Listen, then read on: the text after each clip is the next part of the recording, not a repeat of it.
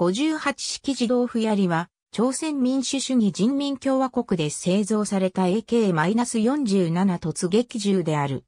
朝鮮戦争を経て、ソビエト連邦は北朝鮮に対して各種の先進的兵器に関する技術を提供してきた。1958年、金日成は AK-47 の生産開始を命じる。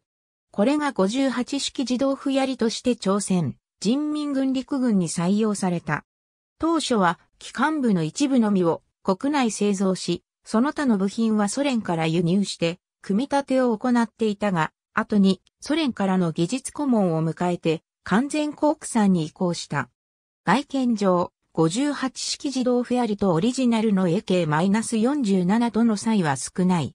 主な違いとして、フレームはオリジナルよりも軽量で、重心は AK-47 と同じ削り出し製造だが、AK-47 より 1mm 長く、ライフリングは4乗右回りに変更されている。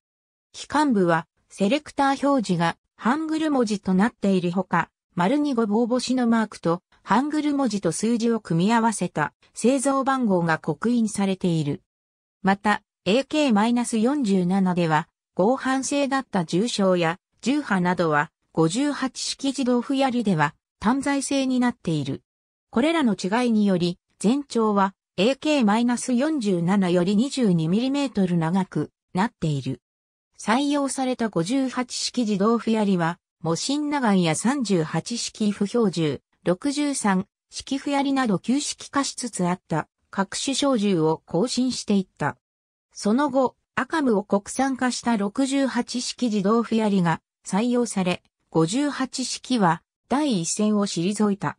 現在、人民軍の一般部隊では使用されていないが、共同師団や労農赤衛隊、赤い青年この衛隊などの民兵部隊、人民保安部指揮下の警察では、相当数が使用されているという。1980年代後半、AK74 を国産化した88式自動不槍が人民軍に採用された。88式がメディアに登場する頻度が増えたことから、第一線では88式が58式と68式を置き換えつつあると思われる。